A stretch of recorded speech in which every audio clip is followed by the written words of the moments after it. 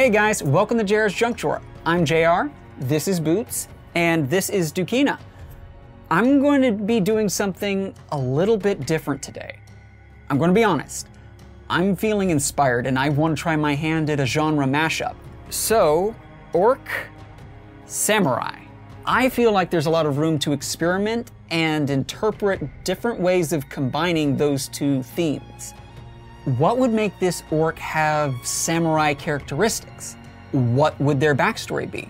Questions like these can heavily impact how we portray the visual appearance of this character. So, throughout today's painting, I thought it'd be cool to talk about the process I use to flesh out a character's personality and how that can impact their design. But I'm not going to make any progress just sitting around here talking about it, so let's jump in and make it work.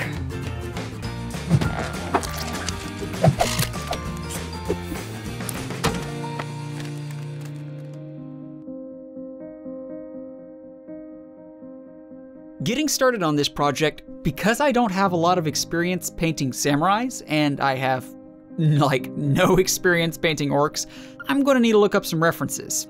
Now I won't be showing the references I used, because there was no one image I used as a reference. There were dozens. I simply searched orc on Google and browsed through the results, and got an idea for what their musculature and their facial structure looks like familiarizing myself with an orcish appearance, getting an idea for their jawline, their ears, things that being inexperienced at painting orcs, I might very easily overlook. And then I did the same thing for samurai. But I deliberately never looked up orc samurai because I didn't want that to have an influence on how I see this mashup working. So if you're interested in looking at the references I used, Google search samurai and orc. It should pull up some perfect images, and if you're painting along with me on this, I would highly recommend it.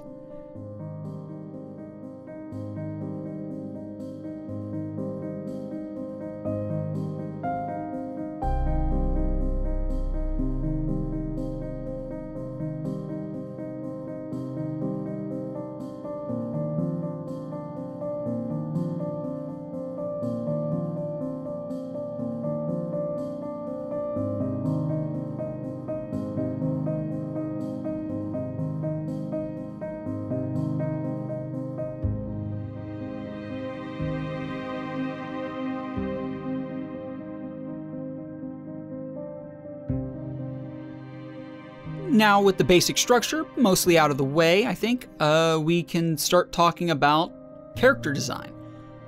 I find it helps if you really want to breathe life into a character to flush out the character's personality. Maybe even with a quirk or two. Now, I'm not saying you'll need to work on every little backstory detail. That would be if you were interested in building the whole story. No, no. What I'm talking about is more of a personality rough sketch, if you will. That way, we can start to imagine how their personality would react to the situations we've built around them. Questions like who are they? What are they? Or maybe as simple as what is their origin can springboard us into an entire design for their appearance. And for this character, the first defining question that I had what makes this orc a samurai? Pretty straightforward. But there are a few different directions in which I could go with that mental image that drastically change the character. We could always have it be a regular thing for this fantasy world, that orcs have a Japanese inspired culture. Or we could swing to the complete other end of the spectrum to have a battle hardened orc that might wear various samurai armor as trophies of previous battles. You could actually get very creative with that idea by having the armor all mismatched, indicating that there might have been mini battles. But for this character, while I've been filling in details around the canvas, I've also been putting some thought into who this character is. I picture this orc having been orphaned at a very young age, being raised by a samurai who has since passed away, leaving behind their now broken katana that our orcish friend here now uses as a short sword. One thing of note is that my concept here isn't a reskin samurai that just happens to be an orc. And I do want that to be reflected in this character's approach to combat. And that is where the idea for the axe comes in. To me, this character is a dual wielder who uses this short axe in combination with the broken katana. But despite his ferocious appearance, he would use both items with a surprising level of finesse and precision. Overall, whether it's the axe, katana, the kimono, or even the simbone he uses as a hairpin, there are opportunities everywhere to not only express the story through the design, but to also have the story directly influence the design itself. But if you'd prefer to not have to worry about any kind of story, I find it also works to fall back on just doing a quick character bubble, where you can focus on the basics the character's name, traits, and personality type. Those are the things I usually cover, but you can always throw in a fun note if something comes to mind. Now, of course, you could always flush out a character's story with even more details, which can be a fun experience. Maybe our orcish protagonist has a conflicting backstory. Maybe their adopted parent was given orders to wipe out a clan of orcs, but in doing so, they felt guilty enough to go into hiding and raise the last remaining orc child in secret. Years later, our protagonist could have the opportunity to learn the truth over the course of their story. When you build an original character and you consider the world and story they come from, you can find opportunities to reflect that in the artwork. All of this, I find, can make the character feel more grounded in their world, no matter how wacky or crazy the story they might come from is.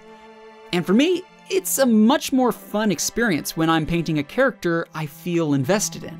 And it's one of the biggest reasons why I feel flushing out the story of an original character you've designed, even just a little, can really be worth it in the end.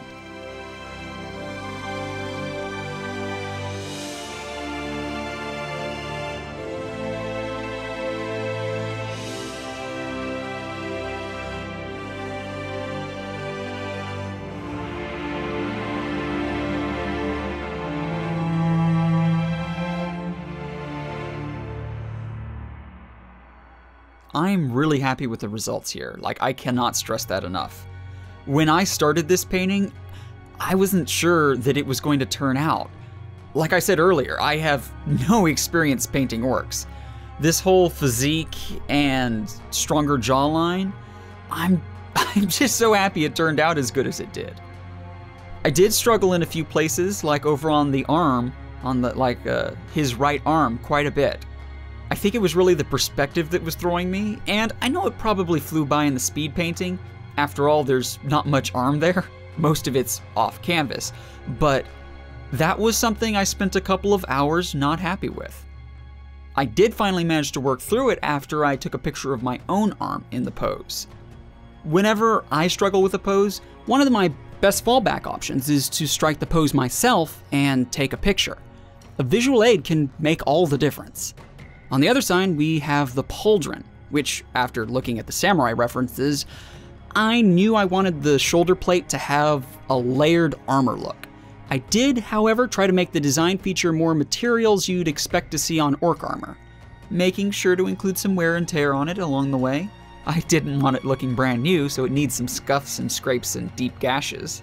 And on a similar train of thought, I also kept the bolt heads uneven in their shape hoping they looked a little more handmade, kind of like maybe some hammered metal. This character really all came together awesomely, and from such a random starting place, too. I mean, an orc samurai, it's not really a concept you run into every day.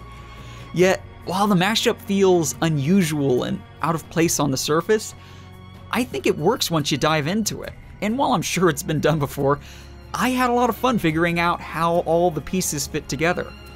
But before we can call this project finished, there is still one last step that every original character should have. Our orc needs a name. So I'm going to send that question over to Instagram, and with the power of editing, we should be getting an answer the next day. Key Vin. Okay, now he's done.